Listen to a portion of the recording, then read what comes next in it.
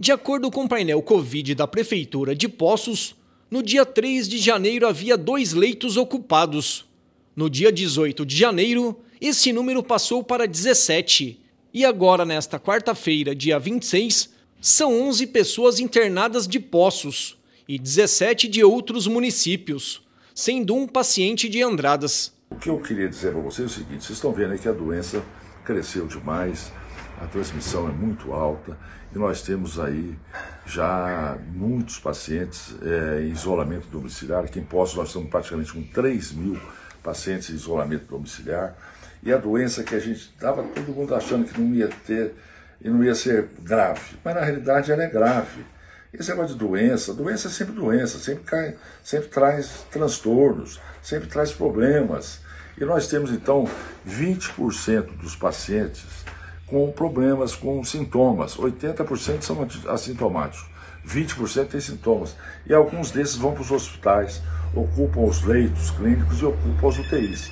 Nós tínhamos as UTIs é, com os leitos praticamente zerados e agora nós temos quase 40% dos leitos de UTI ocupados. Então, só para a gente atentar para a gravidade do problema.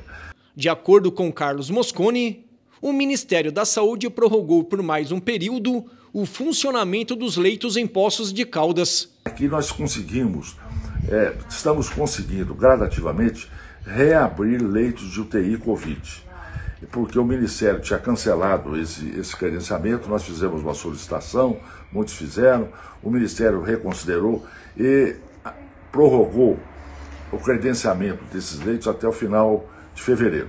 Tudo bem, mas eu quero dizer o seguinte, esses leitos, eles estavam sendo ocupados por pacientes não Covid, pacientes de toda a nossa região, de Poços de Caldas e da nossa região.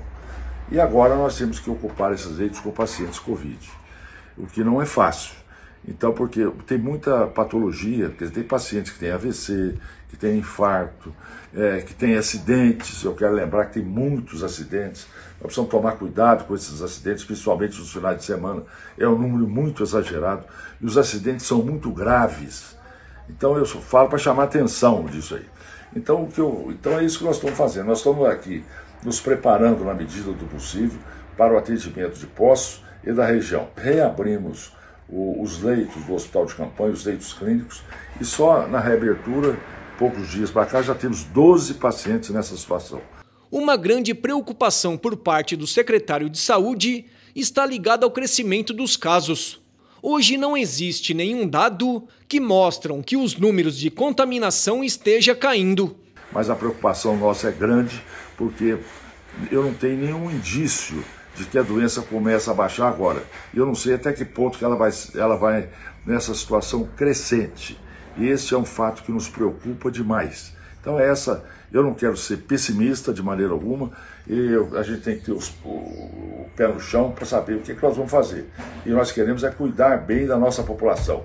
Esta que é a nossa obrigação. Então eu quero deixar com vocês aqui a minha palavra, essa minha palavra de cautela, Todos precisam ter esse espírito de colaboração, porque isso é extremamente importante para que a gente possa, em algum momento, chegar ao final dessa pandemia que tanto, tanto, tanto sofrimento tem trazido para todos nós.